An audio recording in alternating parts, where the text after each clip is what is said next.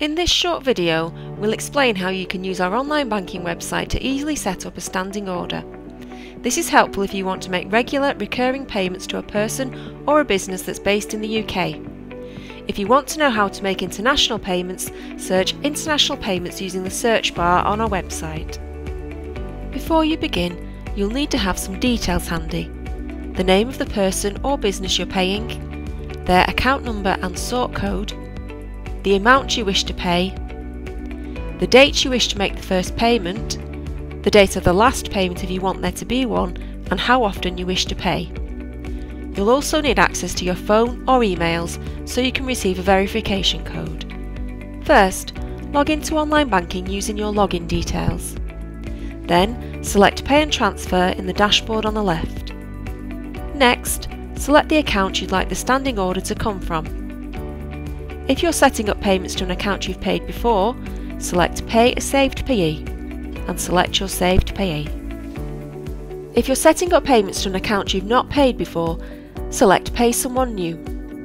Then select In the UK and then enter the payee's name, sort code and account number. If you're paying a business, select the Pay a Business tick box. If you're not, then you do not need to select this. You'll also need to enter a reference for the payment. Finish adding a new payee by clicking Verify Payee. This can help make sure you're sending money to the right account and avoid potential scams. At this point, there are a few possible outcomes. The most common are account name is a match, which means the account matches the payee's name and you can proceed with the payment. Account name is not a match, which means the account name doesn't match the payee's name.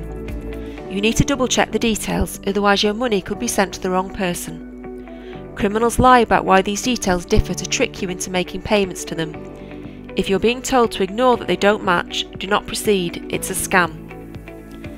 Account name is a close match, which means the account name is close to the payee's name.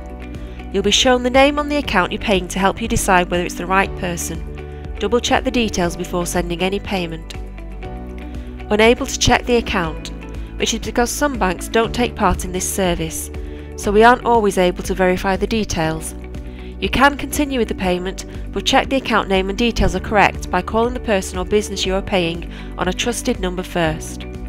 Criminals will target banks where it's not possible to verify these details. You are therefore at greater risk of being scammed. You'll then be taken to the payment details page.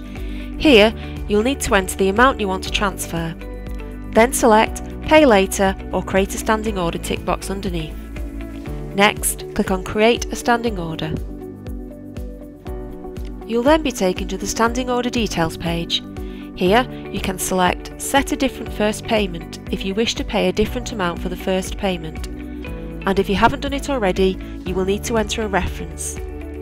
Then select the payment frequency, select a payment start date, and select whether you want to set a final payment date.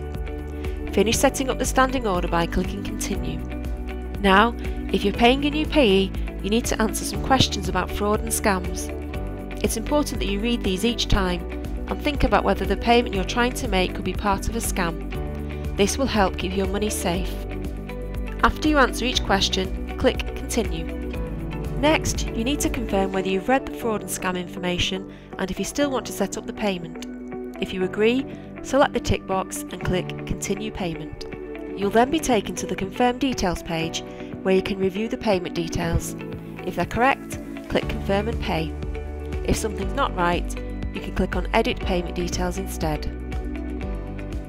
Once you've clicked Confirm and Pay, we may send you a verification code by text or email. On the Verify It's You page, you'll need to enter this code along with your password. This is for security. After you've done this, click Verify Code. We'll then process your payment request.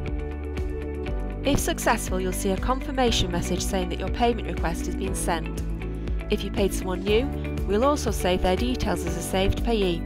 Now you'll be able to set up payments to them without having to enter their details again. Click on Return to My Accounts to go back to the main screen. You can view, amend or delete your standing orders by clicking Schedule Payments in the dashboard on the left.